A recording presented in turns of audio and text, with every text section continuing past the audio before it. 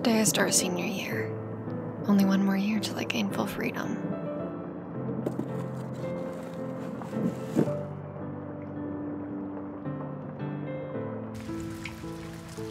I'm being forced to share a dorm with two roommates this year.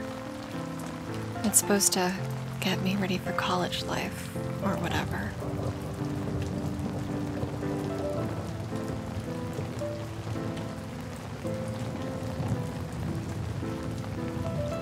To me, it seems distracting. Why do I need to share a space with two strangers? For what? The experience?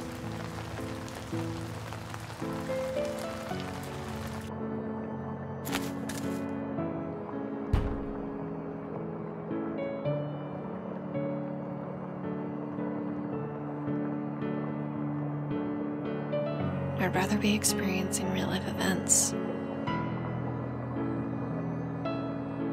I need to find my mom.